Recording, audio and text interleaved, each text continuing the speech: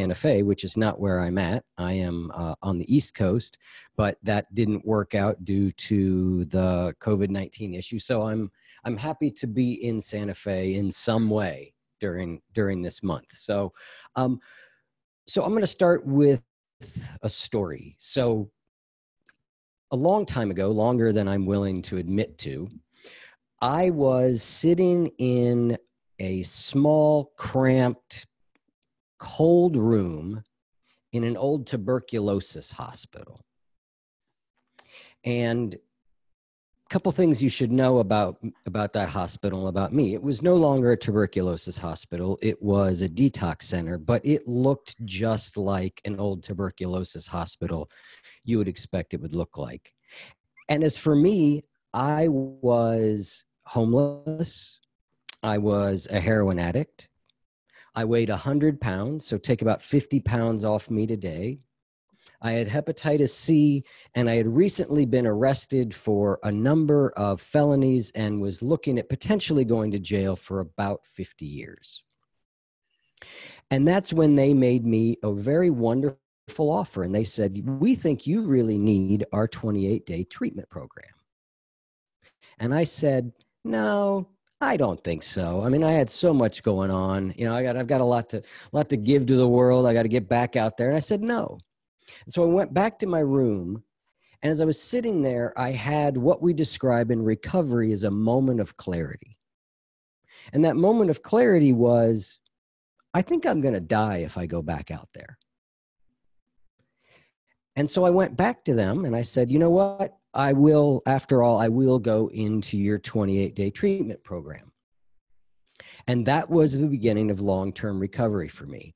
Now, the reason I tell that story is because if this was a Hollywood movie, we would bring that moment up as like, this is the big moment. This is like the most important thing. And while it is an important moment, and while you know I can delineate a, a, a, path before and after, it's honestly not any more important than the countless moments since and the countless positive decisions that I made since that moment till today. The number of meetings that I went to, my calling my sponsor, helping other people, praying, meditating, making a decision an hour a day at a time not to drink or use. Those are all equally important. And so I know I'm in a Zen meeting. And in Zen, we tend to believe a lot. We talk about the big moments, the Kenshos, the Satoris, right? And they are important. But also, and what I want to talk about tonight are all these little moments, all the little things that we do over and over and over and over again that add up over time. And so, what I'm going to talk about tonight is something, it's a program I've created called Spiritual Habits. And so, what are spiritual habits? Really they are it's it's the idea is it lies at the intersection of spiritual principles things like mindfulness is a spiritual principle generosity is a spiritual principle right? So spiritual principles and behavior science so, how do we create habits? And so, in addition to the podcast that Henry shared, another big thing that I do is I do a lot of coaching work with people. And I primarily think of myself as a behavior coach. Because one of the things that I believe really strongly in is that sometimes we can't think our way into right action, we have to act our way into right thinking. And so I became very interested in okay, what what do we know about how people change? And it turns out there's a lot of science about it. So tonight, I'm going to talk a little bit more about the behavioral science side of spiritual principles than the spirit uh, of spiritual habits than I am the spiritual principles because you guys you guys probably know your spiritual principles pretty well, right? So I'm going to spend a little bit more time about that. But again, spiritual habits are this intersection of spiritual principles and behavior change. There are things that we can do throughout our day to remember and take action on the spiritual principles that we want to embody. It's a method of taking spiritual ideas and giving them more of a practical implementation in the world.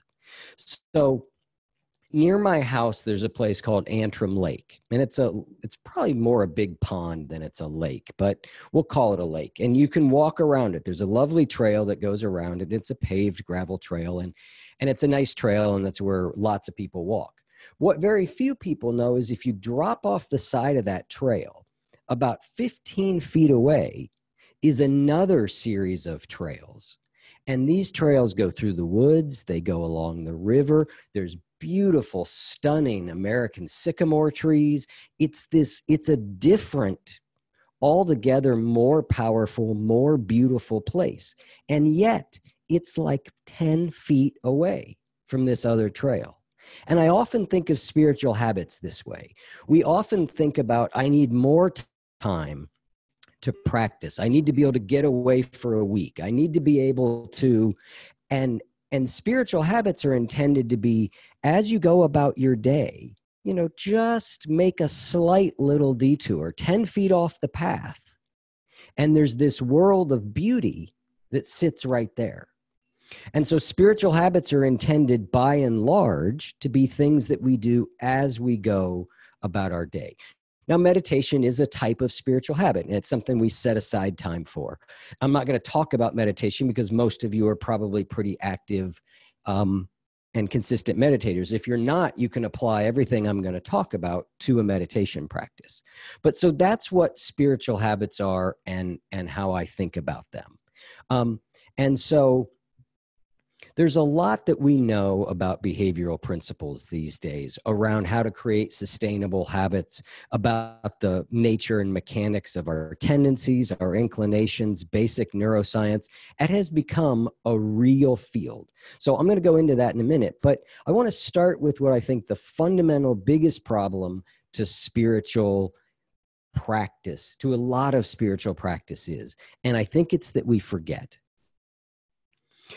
if you're anything like me and you've got a somewhat busy life, I get up in the morning and I might start my morning with a with a reading. You know, I read. I, I get to read lots of wonderful things from lots of authors for my podcast.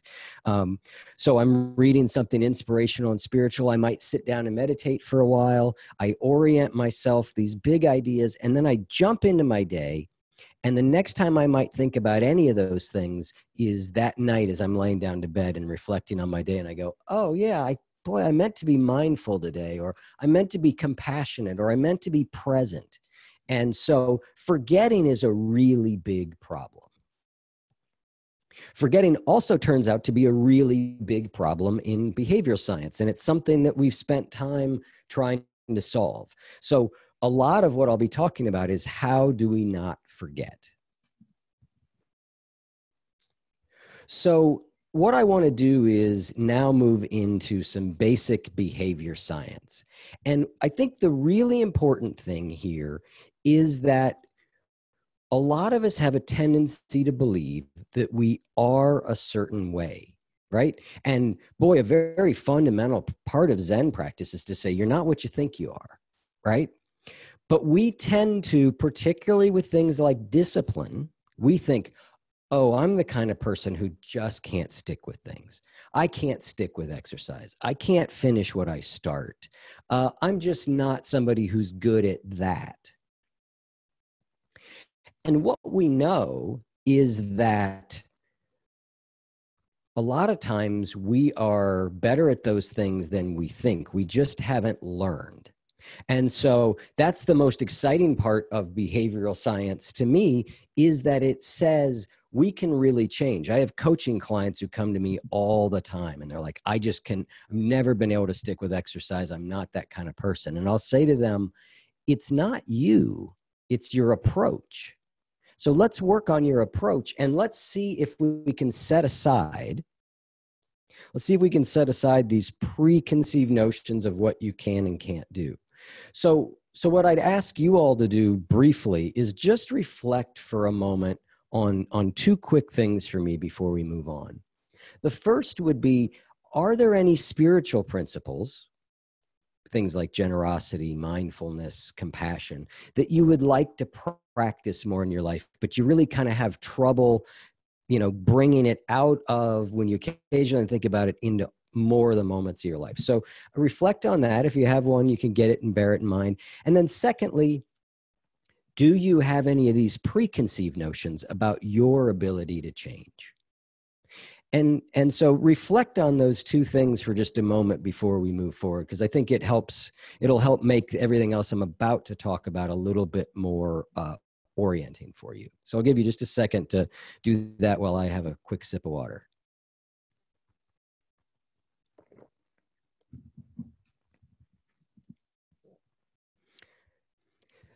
So I'm going to tell one more story. Uh, well, not one more story, but one more story now about change because it's easy to think, well, you know, I'm the kind of person who can't, or, and I want to talk about change. I mentioned being a heroin addict, right? And there was once upon a time I would have probably robbed you at gunpoint if you were carrying a big bottle of, of, you know, oxycodone or something like that, right? Well, this summer, last summer, I guess, my mom hurt her back. And I was I was one of the primary people who took care of her. And one of the things that I had to do each week was I would go to the pharmacy and I would pick up her bottle of oxycodone. And I delivered it to her every week. And it was really about a month of doing this before it even occurred to me what I was doing. Where it even occurred, so for a month, I just picked it up and delivered it like I was picking up a turkey you know, like I don't eat turkey. I don't care. I bring her a turkey. Didn't have any. So I tell that story not to be like, look how great I am, because that's not it. I tell that story to say we can really change a lot more than we think we can. Henry's book is a great example about this, right? He talks about being a very different person now than he used to be right so that's that's the promise that both spiritual practice and behavior change has. We can really become different people. So if you've got some of those limiting beliefs, if you can just, to the best of your ability, say, well, maybe I'm not right about that. I'm going to open my heart. Because if you had told me all those years ago that I would go to the grocery and pick up a bottle of, of opiates like that and deliver to my mom, I would have said, You are nuts. Maybe I can get sober. Maybe I can get sober and not be miserable. But what you're asking for, that's going way too far. Like there's no way. And yet, there it is. And again, I don't say that to be like, look how great I am. That's really a testament to the principles and the things I've learned over the years. So let's jump into behavior change science. And what I'm going to do is I am going to share um, something called the Fogg behavioral model that I think is the simplest way to teach some really important behavior change concepts. There's a Stanford researcher by the name of BJ Fogg who's one of the leading uh, leading lights in behavior change today. He's a brilliant guy. I've had I've been I've been lucky enough to talk to him a couple times. He's got a great book called Tiny Habits. But he created this model and I want to walk through it because I think it speaks to some really fundamental ideas and it, it allows us to understand them quickly. He basically says that behavior occurs when motivation, which is over here on our left axis, ability, which is down here on our horizontal axis, and prompts come together at the same time. So behavior happens above this action line. So, what does this tell us? At its most basic level, what this says is, and it's completely common sense, if you want to do something that's really hard to do, you need to have a sky high level of motivation. So, for example, if you want to sit and meditate for 24 hours straight, you've got to be real motivated to do that, like super motivated. If, on the other hand, you want to meditate for five minutes, you can be, which is way over here on the easy to do side, you can have pretty low motivation right? So what this tell and the problem with motivation is there's two key problems with it. One it goes up and down. You've probably noticed this. I'm motivated today. Tomorrow i feel i feel like crap. I don't want to do it. I'm more motivated today. Motivation goes a little up and down. And secondly motivation is somewhat hard to control. There are some things we can do to work with it but it's a harder variable to, to control. So, what's an easier variable to control is our ability. And by ability, what I mean is how hard something to do is. So the I made a meditation example. Another example would be um, easy to do is to go walk around the block. Hard to do is run for 10 miles. Again, if you want to go run for 10 miles every day, you've got to be super motivated. But an interesting thing happens when we start with something small and easy to do and do it consistently. Two things occur. One is our motivation tends to go up. And secondly, that thing gets easier. I walk around the block. Now it's easier. I do that for a week. Now I can go around the block twice and it's still the same level of easy. Before long, I'm running a mile and it's the same level of easy.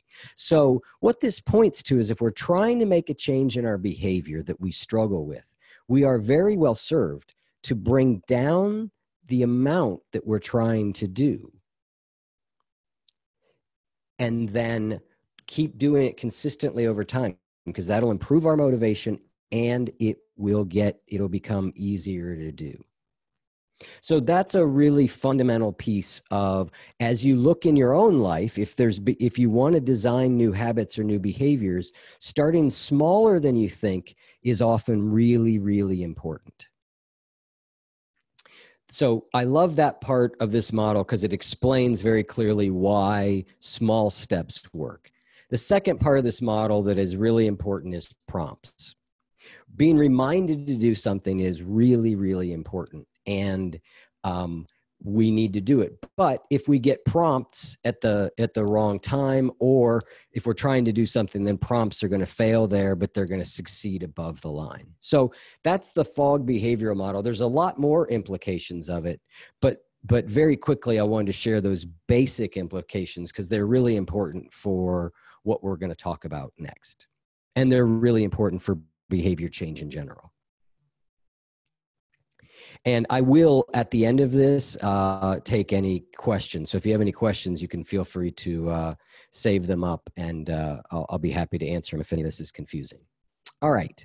So moving on now to the next part of teaching points is the triggers. I want to talk about triggers, or we call them prompts in that model. They are ways that we are reminded. And I want to talk about the different types because there's a variety of them and being able to use different ones at different times is really helpful and is a really important part of the spiritual habits program so the simplest prompt or trigger that we're all used to is a time based one. Oh, 3 p.m i do this right? You have a reminder go off, or you have your calendar and you go 3 p.m. I do this. Very straightforward, very simple, far and away the most common. And the reason it's common is because it's remarkably effective.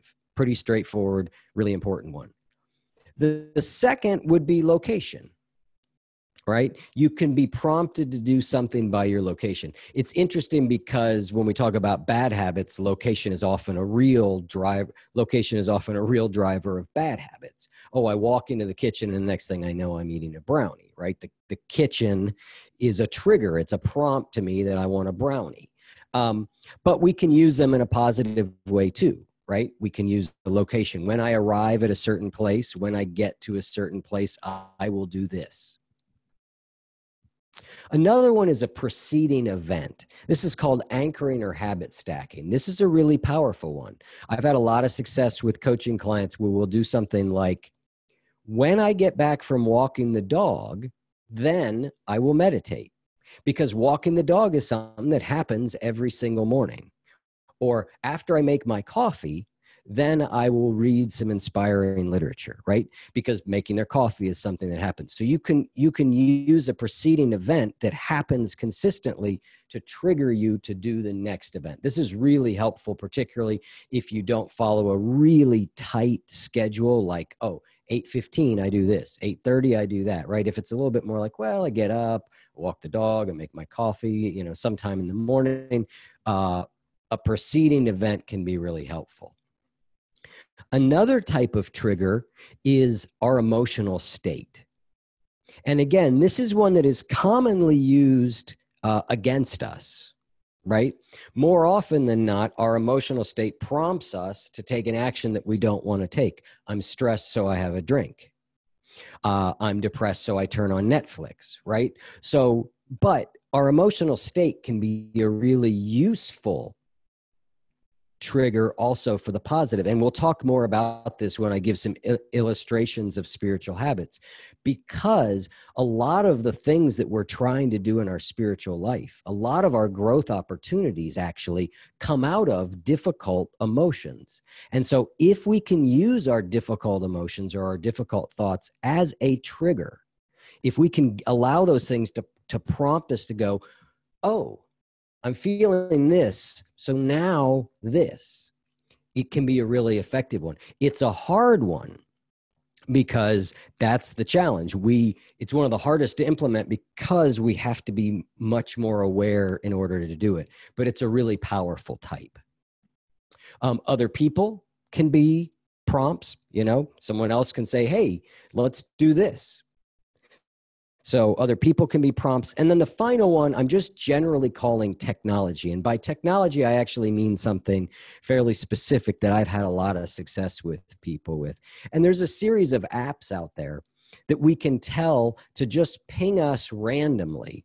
There's one on the iPhone called Mind Jogger that I use with clients a lot. And you could say, hey, ping me nine times between 8 a.m. and 6 p.m. And when it goes off, it can display a message.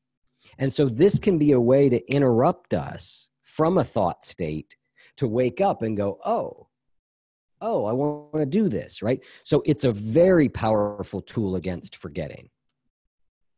So those are some behavior change ideas. And then the last behavior change piece that I want to walk through is the idea they're called um, they're called implementation intentions, or we could call it just being specific. But the way they work is basically if this, then that, or when this, then that. So when I finish walking the dog, I'll meditate is an implementation intention. If I find myself um, ruminating about my mother being a pain in my you know what, then I will say the loving kindness prayer. That's an implementation intention. And what it points to is that in behavior change of any sort, specificity is always our friend and ambiguity is always our enemy. Because when we have to both decide what we're going to do and then do it, we're way less likely to do it. So, separating decision from action is a really useful thing. And that's what an implementation intention does. So, all I have to do is watch for the, the trigger, then perform the event. So it's a it's an if then or a when then. But by knowing what they are and writing them down, they can be really really effective. So again, in anything you're trying to do behavior change wise, specificity is your friend. So if we were going to be talking specifically about procrastination, which is something I help people with a ton, you know, I always say that ambiguity is one of the mothers of procrastination. You really, it really is a problem. So specificity is really important. You know, a lot of times if you look at our task, if you look, if you look at a lot of our to-do lists, what you'll find is our to-do lists are not specific tasks. They're like small projects. You know, uh, you know, I'll get something on mine like uh, launch new course which is like 64 tasks. No wonder when I, when I look at it, I'm like, I'll go to the next one, which is call doctor. That's easier, you know. So so that's an example of ambiguity being as well as overwhelm being a real problem.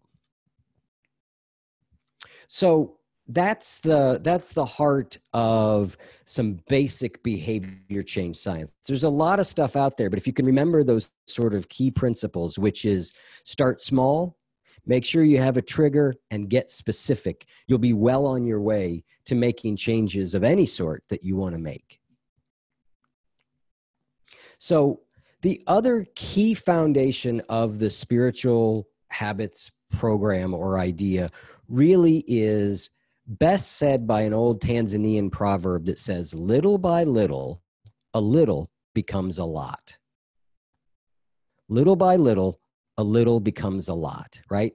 And it's a really important idea. And if we go back to the Fogg behavioral model I showed you, we can see why doing things that are really easy a little bit we can get we can get away with doing those with much less motivation so that's why doing things that are little is really important we talked about my briefly about my podcast where henry was a guest and um, one of the things that i said very often early on on the show was um, you'd be surprised what a series of small steps taken over and over and over again will accomplish.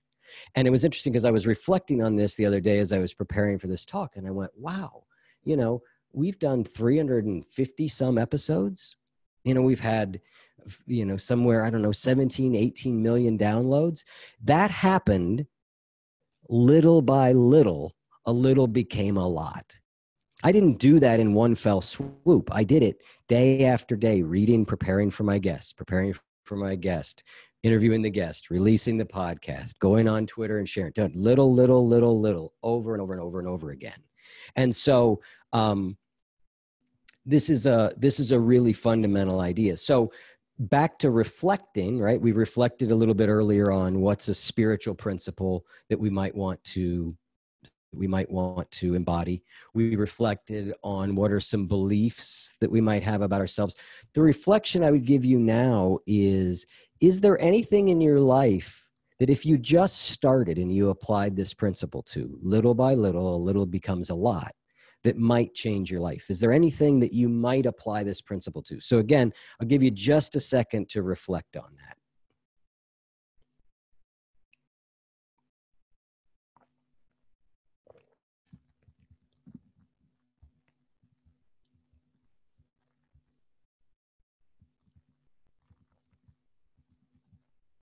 All right. Well, we'll uh, hopefully you are able to to think of something. But I want to tell another story about somebody in recovery. And this is my friend Rachel, who tells a story that makes me laugh every time, but I think it's perfect for this. Rachel was a was a alcoholic years and years ago. She's been in recovery a long time. You don't need to worry about her. She's good. Um, she's this sweet little girl who was once arrested for armed robbery, which cracks me up seeing her in a ski mask and a gun. I'm like, that can't even be true. Anyway she lived with these people these these other women who had to put up with her and they would get really frustrated with her because she just wouldn't pay the rent. But every night they'd see her sitting out on the porch with a six pack maybe smoking a joint and they'd say rachel how come you always have money to buy beer and to buy weed but you can't pay the rent? And rachel was baffled by this she would say that's ridiculous. Beer's like $6 and I paid like $20 for the bag of weed. Rent's like $200. Rachel did not understand at all that little by little, a little becomes a lot. This principle, she could not grasp it. And a lot of us are this way sometimes in our own lives. We go a little, eh, it's not going to get me anywhere. That's not going to pay the rent. That's not going to get you 350 podcast episodes. But the reality is, little things do add up. And so, again, if you look at making changes in your life, really think about okay, what could I do that if I just kept doing it? Right, might really change my life. The the the Tao Te Ching says this is just one translation of it, but it says a tree as wide as a man's embrace grows from a tiny shoot. A tower of nine stories starts with a pile of dirt. A climb of 800 feet starts where the foot stands, which is actually the origin. A different translation is the journey of a thousand miles begins with a single step. Same principle. In 2003, um, Henry, I'm I'm gonna wonder if Henry's what Henry's gonna think of this story because now I'm treading into English culture here. I might get myself in trouble. All right, but the story is I understand it. I'll caveat it. In 2003, British cycling was terrible. Right? They had they had endured hundred years of mediocrity. Since 1908, they'd won a single gold medal at the Olympics, and across the channel in the Tour de France, a British cyclist had never won, which must have been embarrassing. Can't resist twisting the knife a little. But then things changed because they hired a new coach by the name of Dave Brailsford. And Brailsford had an idea that at the time was somewhat um, different. And it was the idea of marginal gains. And what he did is he said the whole principle was the idea if you broke down everything you could think of that goes into riding a bike and then improve those things by 1%, you'd get a significant increase when you put them all together.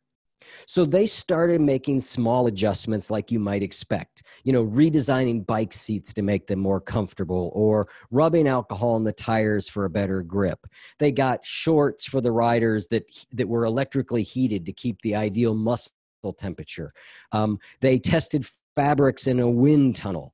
Um, you know, so all these little things, just a little bit of improvement. But then they didn't stop there. They started to do things like what massage gels lead to the fastest muscle recovery? They hired a, a team, a surgeon to teach them how to wash their hands the best so they didn't get a cold. What type of pillow led to the best night's sleep for the riders? They even went as far as painting the inside of their truck, the team truck, white so they could spot little bits of dust, right? So just little teensy changes, one after the other. Five years after he took over, the British cycling team dominated the 2008 Olympics in Beijing, where they won an astounding 60% of the gold medals available. Four years later, they raised the bar and set nine Olympic records. And then that same year, they had someone, one of their cyclists, win the Tour de France. And then the next year, someone won it. So, this theory, there's some controversy around it that says, look, they did more than just marginal gains. So I'm not going to say that like small 1% changes are the only way to get anywhere, but they are a real way to get somewhere. They are a real way to make change. So again, it's back to this idea of little by little, a little becomes a lot. All right. So I'm running out of time. So I want to bring this all together and talk about a couple of spiritual habits. What does this actually look like?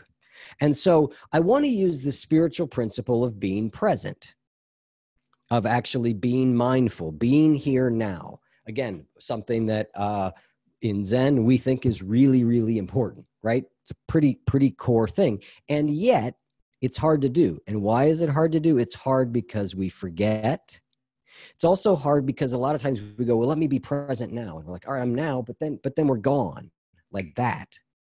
So, so there's a couple of spiritual habits that I think can really be helpful around this, right? And so, what we want to look for again with a spiritual habit is we want a little bit of the if this, then that.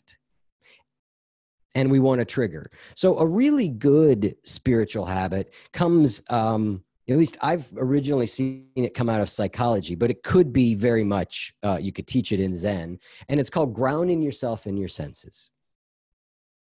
And it is a, you, you, when you remember, you go, what are five things that I can see right now? So I might go lamp, cloud, tree, computer, Henry, right? Five things I can see. What are five things that I can hear? So I stop and listen. And what are five things that I can feel in my body? I can feel myself sitting in the chair. I can feel my throat getting a little bit dry. It's called grounding ourselves in our senses, but it's a great way to be more present. And so we can use triggers to do this. We can use the trigger that I talked about of having, you could set an alarm on your phone. You could uh, have your thing ping you randomly. You could do it every time you're at a stoplight. That's an example of a location based trigger.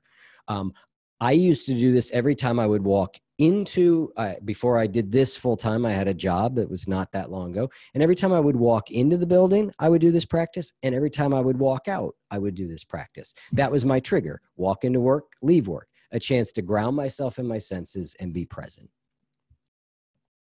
Another type of uh, presence practice, spiritual habit. And this I am pulling straight from Zen is Samu, right? Work practice. Work practice is a way of being present, but we don't just have to do work practice when we are on retreat or when we are at the Zendo. So we can pick something in our own lives that we do every day, ideally. So for me, it's dishes. I do most of the dishes. I'm lucky enough that my lovely partner and girlfriend, Ginny, is an amazing cook. She does most of the cooking, and I do all the dishes. And I think it's a very fair trade. Um, but dishes are a time for me to practice. That's my trigger. When I do dishes, then I try and be fully present. And then finally, is I want to use an example of an emotional based trigger. So, and it goes like this when I catch myself wishing for a different moment than the one I'm in right now, then I'm going to ask myself, what happens if I stop designating some moments as special and others as ordinary? So you can use you can use a reflection. You can use that one. You can use countless other ones. But what I'm doing here is if I feel like I want to be somewhere where else than I am, which I think a lot of us in quarantine can relate relate to that. Like, oh, I'm in my uh, house again. I would love to be anywhere.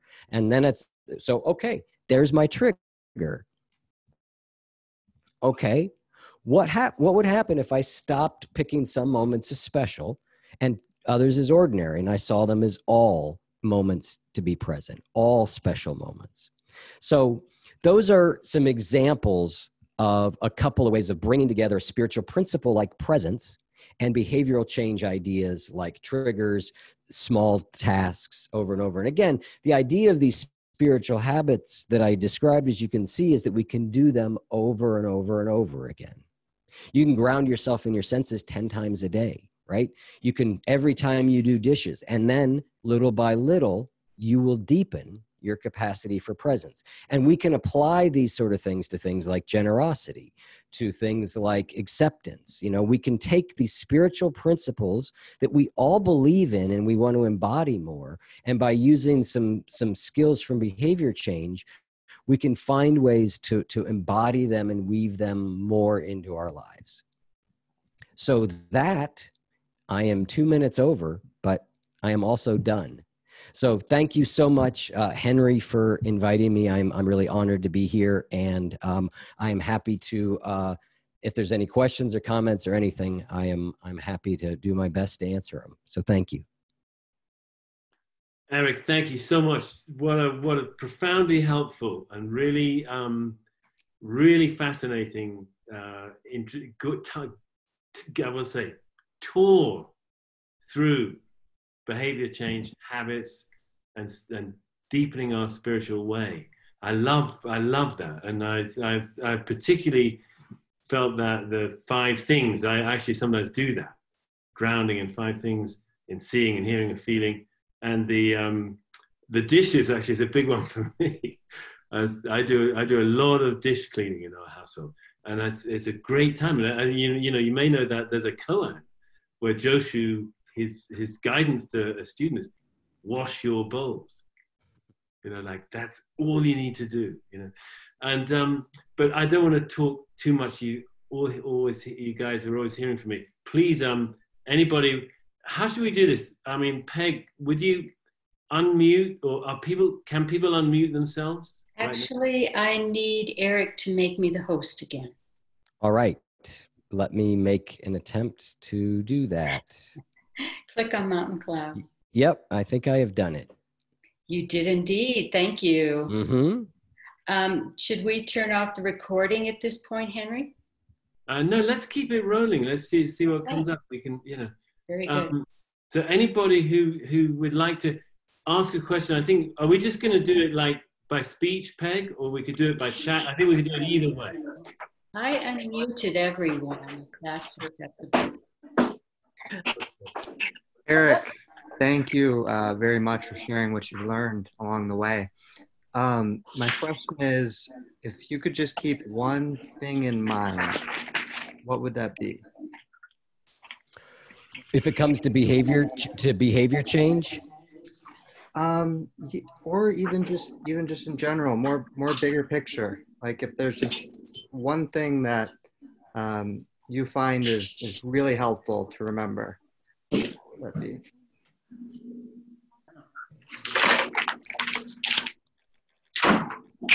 I think that I'll, I'll give you two, I'll give you two quick things. So with behavior change, I would say say um, Hey, I'm sorry, Eric, I'm interrupting you, but I want to, Peg, can you actually, can you make it so everybody's muted, but they can unmute themselves if they want to? Because Okay, Um, if we have everybody un, unmuted, we're going to get, you know, background sounds. right, and we are, and I was just going to address that. Um, I can unmute everyone, but ask everyone to mute themselves unless they are asking a question. Would that work? Yes. Perfect. So, So- everybody hear that? Please mute yourselves, everybody, unless you're asking a question. Thank you. Okay, so um, yeah, my two answers. If you're gonna, if we're gonna talk about behavior change, I would say be specific. You know, being specific about what you're going to do, what you want to do, is really, really important. And then in general, you know, I think that, you know, for me, I can only speak to, you know, my my own my own growth, but it's a constant sort of thing to become more aware of what am I thinking and what am I feeling. You know, not so that I necessarily uh, en- engage with it as much, but so that I can at least realize it's happening. I can realize what's happening. And once I can do that, once I have some degree of consciousness of what I'm thinking and feeling, I can make a lot of choices about what do I want to do with it? How do I want to respond? You know, my Zen teacher tells me all the time, don't believe your thoughts, which is a great, great lesson. The problem is that a lot of times I'm believing them. I just don't know that I'm doing it because I'm not even conscious at that level. So for me, it's a, it's really about this awareness of trying to take what's sort of happening somewhat subconsciously or unconsciously and raise it up into it up into the level of, the level of, where I can see what's happening. can see what's happening. Perfect. Thank you very much. You're welcome. So, uh, Eric, my name is Patrick. Can you hear me? I can. Yeah. So, thanks for a really, really great talk. It really just given me a lot to think about um, uh, and consider and kind of mull over. But so here's what came up for me. You know that um, can make these. I can try for these incremental or small changes, and then if what happens is if I'm not successful, it doesn't work. You know, the prompt doesn't work. Maybe that happens three or four times. Kind of get it in my head. I have this voice saying, "Ah, you're not, you're not the kind of person who, who's going to be able to pull that off." Yeah. You know, so my motivation level goes down, and it seems to become harder. So how do you, how do you deal with that? Yeah, that is a that is a really good question and a really common problem. And I would say that you start with the assumption I'm going to fall off track. It is absolutely going to happen to everyone. So with me, with things that I'm trying to do like I try and meditate every day. And my goal what I'm what I'm what I consider success is 90% of the time but that's month after month, year after year. So, you know, that what that means is over the course of a year, I could miss 36 days. I, I try not to, but I could and still go, you know what? If I'm not, if I'm meditating 90% of every day for the next decade, that's pretty darn good, right?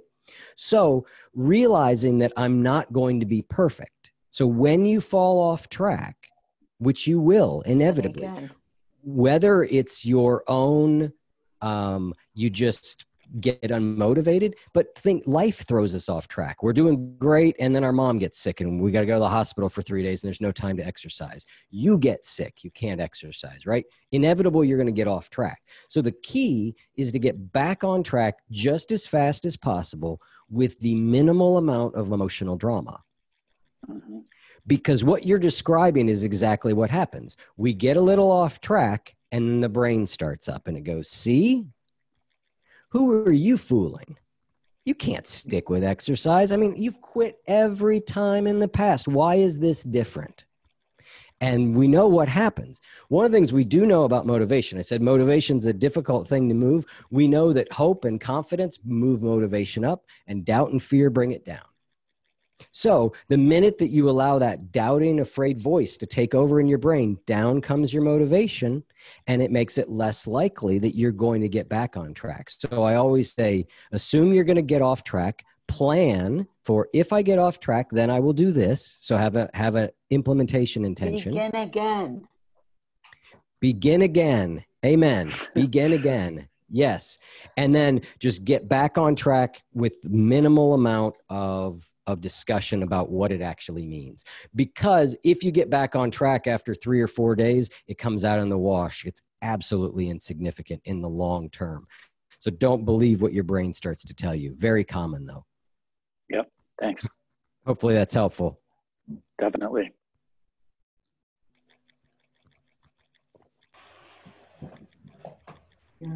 Well, you gave us a lot of uh, information, and not to be disagreeable, but uh, Mu seems much simpler. Well, on one hand, yes. And on another hand, I don't know. but Well, yes. Uh, is- Isn't mu a perfect case of little by little? A little can become a lot. Just mu after mu after mu. Little, little, endless, tiny little moves. Just that tiny little sound. And just Mu. and just move.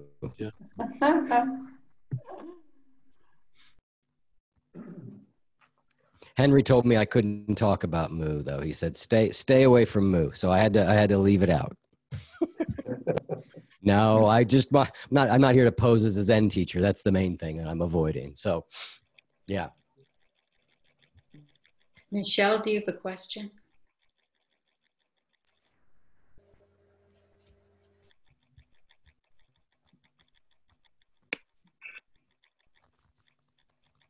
Anybody else? If I think we might have time for another question if anybody's got one, but no worries if not. Let's see.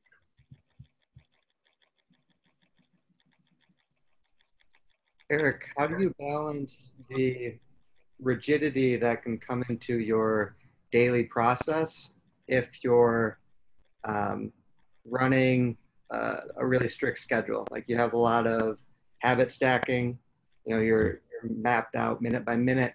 How do you balance that type of operating with the more, you know, casual, going with the flow, relaxed way of being?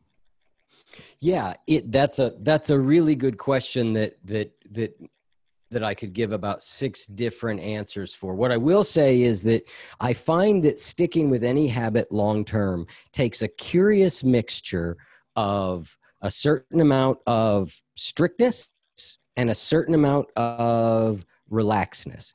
Too much strictness and what happens is you you're you're all or nothing. Either I do it perfectly or I quit right? That doesn't work. That's where going, oh, you know, I'm shooting for about 90%. Uh, you know, I find that number to be to be useful. So, um, but on the other hand, you've got to be you've got to be somewhat, you know, focused on on consistency, right?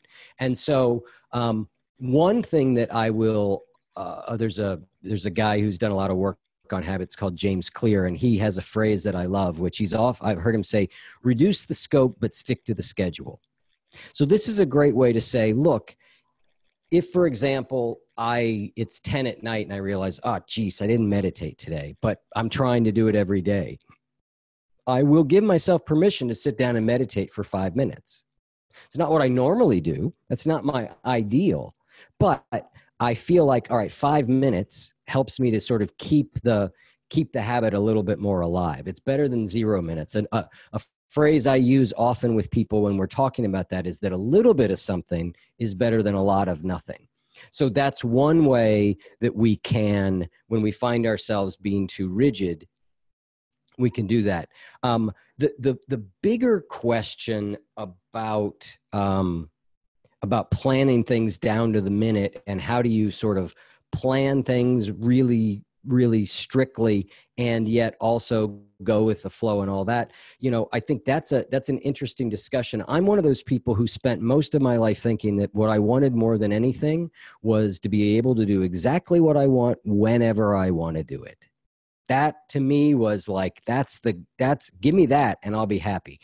What i've realized is if you give me that it's a disaster right? So for me structure really liberates right? Structure is a very liberating thing but it's got to be the right kind and finding what's the right amount for you that allows you to feel like okay you know i like to think of structure like we think of structural beams in a house. Often we think of it as confining.